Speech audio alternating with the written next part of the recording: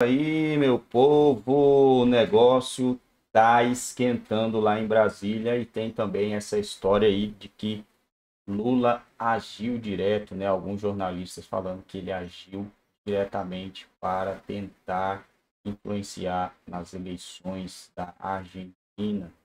Se isso for verdade, se isso for real, isso configura, não sei hoje, mas alguns anos atrás, porque hoje está tudo estranho, né?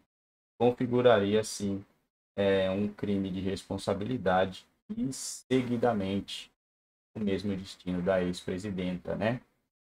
É, se realmente sair provado isso, pode ser sim que a gente tenha uma derrubada gigantesca aí no nosso cenário político, juntamente com os homens da capa preta, né?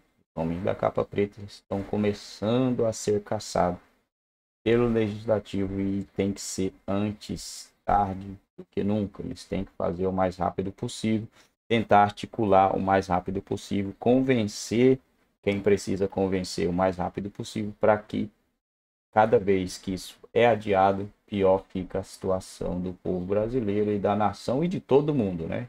Todo mundo. Tem que tirar as armas deles antes que eles se armem mais ainda.